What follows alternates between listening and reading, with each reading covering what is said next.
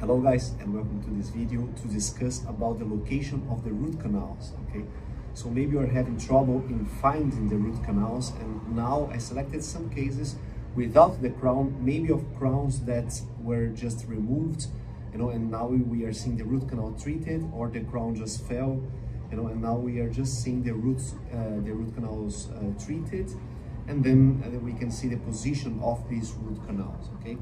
So uh, just some cases that we can at least uh, study a little bit more dental anatomy and um, for you guys to know exactly where you are when you are trying to assess the dental root canals, okay? Because sometimes you guys think that you are already there and then you are still removing the roof of the pulp chamber and then we need to know when, when we are in, at the roof of the, roof, uh, of the pulp chamber or in the floor of the pulp chamber, okay? So take a look at this picture here now. We're going to start with this picture and I'm going to give a zoom for you guys to see the location of these root canals, okay?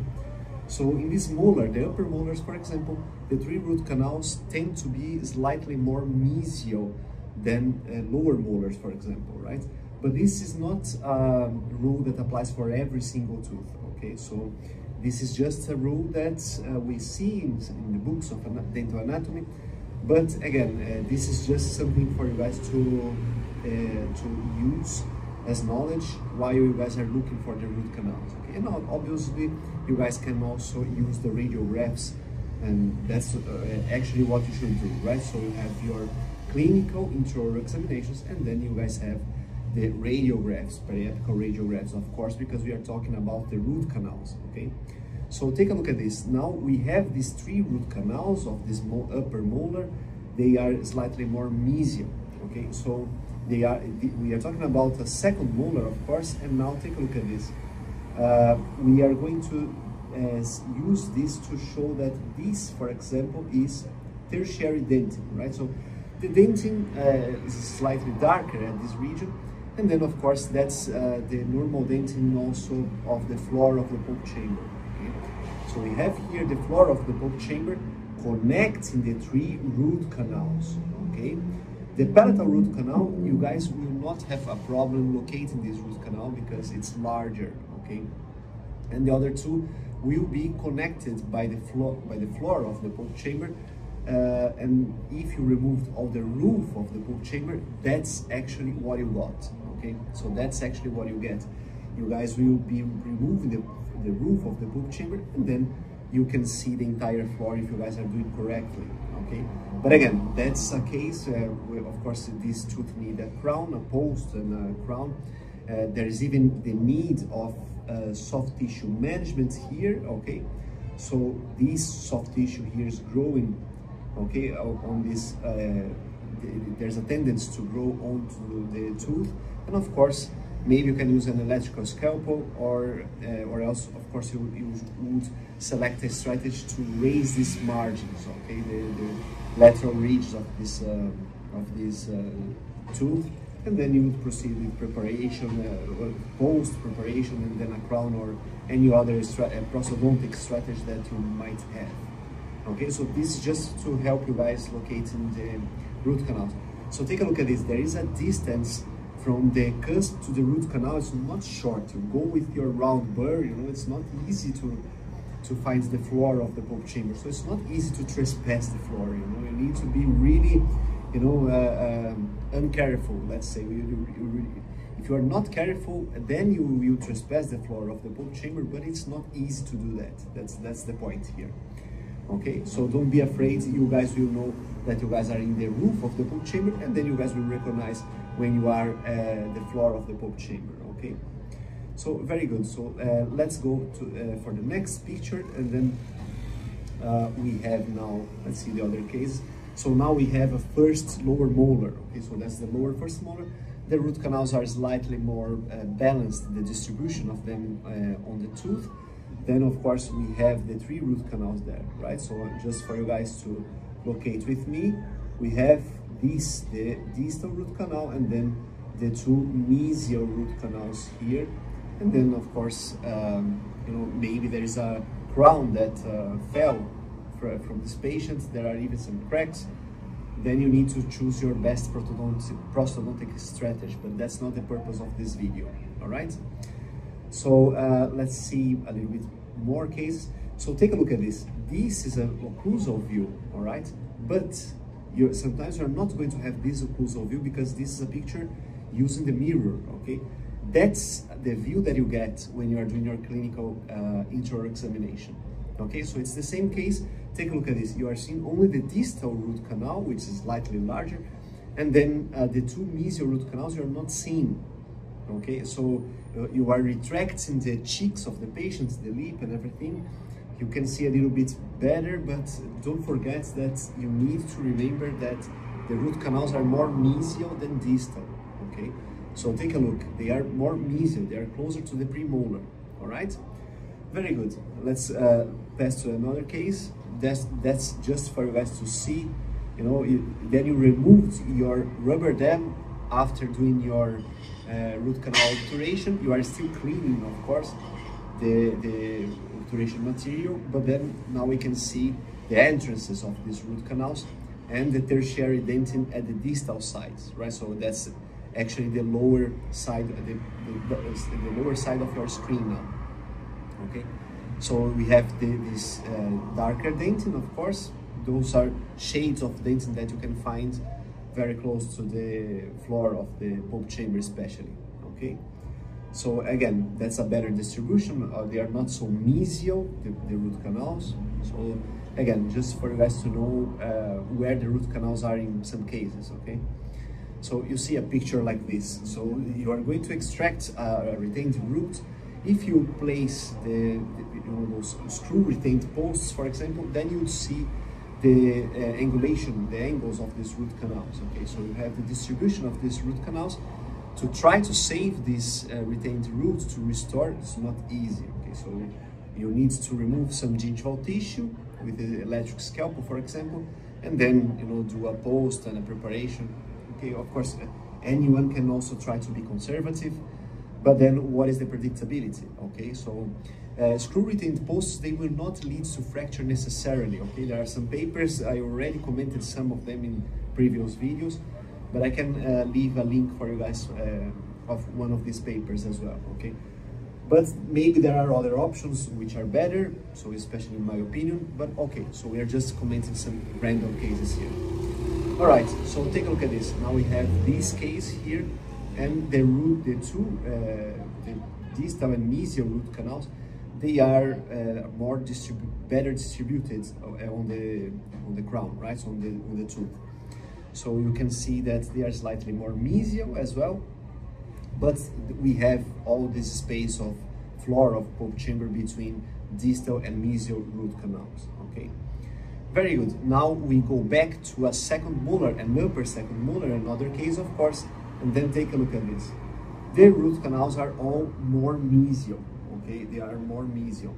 Uh, so they are, uh, if, you, if we trace a line in the middle of the crown from buccal to lingual, of course, then they are all in the mesial side, not in the distal side, okay? So again, that can happen, so you guys should be careful about that, okay?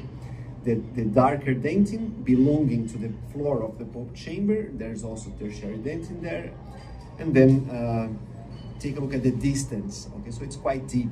Your your uh, the, the, those root canal entrances. Okay, of course I'm not talking about the pulp chambers. I'm talking about the root canal entrances.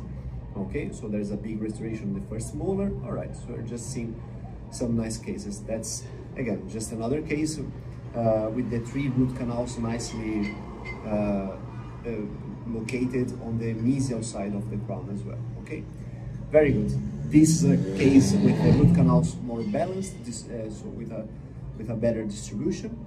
Okay, so they are not so mesial, but again, uh, you need to be able to see them properly. Okay, all right. So again, if you are on the roof of the pulp chamber, uh, you still you are not able to treat the root canals properly. Of course, you guys will use the rubber dam and everything. I'm not going to go to endodontic theories here just describing the, the anatomy of the, the root canal entrances, okay? So now if you see the floor of the pulp chamber, then again, this darker dentin will connect the three root canals.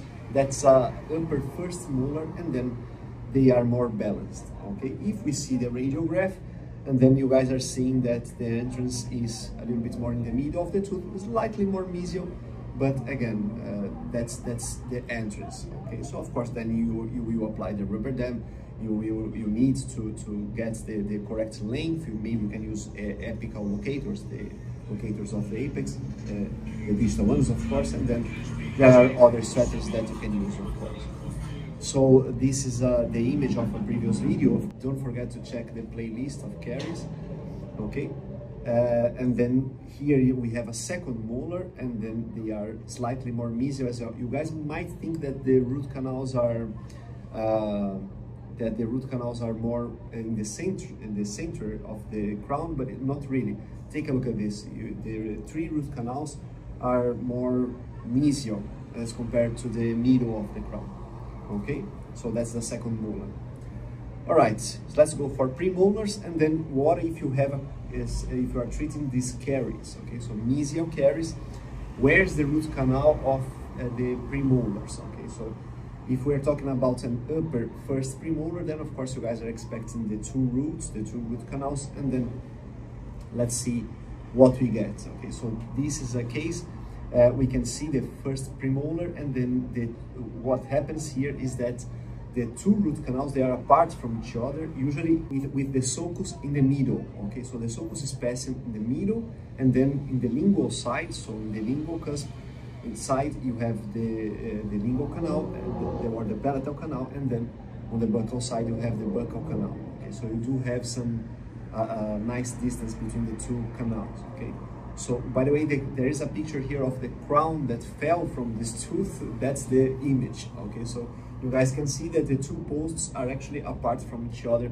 There's all this dentin in the middle. There are two different roots, okay? And then, of course, the buccal side is, is rehabilitated. Let's go back. Now you guys are seeing why, right? So, the, the, the preparation included all this part of the buccal surface as well. Okay, so let's see uh, now just a case for you guys to see the distance between the two root canals. This will vary from tooth to tooth as well.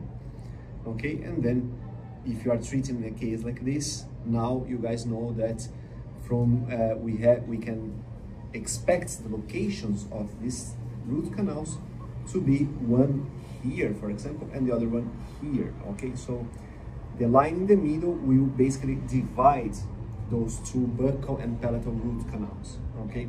So the buccal and palatal root canals, all right? So um, you, still need to remove all the caries. We have arrested caries here. You know, uh, you still need to take the decision first if you're going to rehabilitate this tooth or extract. But anyway, we're just talking about anatomy here, right? Very good. So now let's go to another picture. Okay, just another case for us to see, you know, the tooth is even with cracks, it's fractured, this, this tooth is to be extracted, of course, but then the two root canals are apart from each other, okay, so that's, that's uh, interesting. So now we have uh, the, a lower uh, premolar and then it's right in the middle, okay, so right in the middle, you have the fissures and then you have uh, the root canals maybe slightly more lingual, but they are usually slightly in the middle. They, they are right in the middle, okay?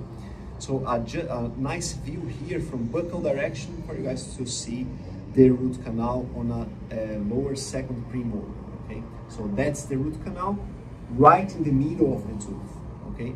So that uh, there you have it. So of course lower premolars, we're talking about one root canal for each one, and that's the root canal of the second premolar. If you remove, you clean a little bit more, then you see the root canal properly and that's your root canal. That, that's actually an upper pre, uh, second premolar, but then again, one root canal only, and then you guys are seeing the location of this root canal is slightly more palatal, okay, but then we don't have the palatal cusp, so anyway, just for you guys to see where the entrance of this root canal actually was, right? Now, anterior teeth, this is a canine, so we have thickness of dentin for all the sides, okay? So there is uh, basically not the same thickness of dentin of course but we have this thickness of dentin here. We have the we have dentin for all the sides okay? So a nice thickness of dentin for all the sides because the root canal is right in the middle but the entrance is close to the cingulum okay? So slightly more palatal for the anterior teeth, but within the root is actually in the middle, okay? That's not for teeth, that's just uh, one of the most accepted theories. All right, let's see, the, the, that's the canine, let's see a lateral incisor at least. Okay, so that, there you have it, you have the lateral incisor. Right in the middle, of course, the, the picture is slightly angled, and then just the central incisor, and of course, the, you guys are seeing the root canal, but you guys wouldn't treat this root canal because now we have a fracture, right? So the fracture is one of the criteria for extraction, and then there's no saving this tooth anymore. Okay, you don't need a radiograph to, to make sure about that because you guys are seeing the fracture, okay? On the buccal aspect, of course. All right, so what if you guys take a case like this, for example, okay? So now you guys remember the locations of the root canals, okay? Now let's discuss about case like this. So the amalgam restoration is here. It's not a good restoration, okay? You guys need to replace.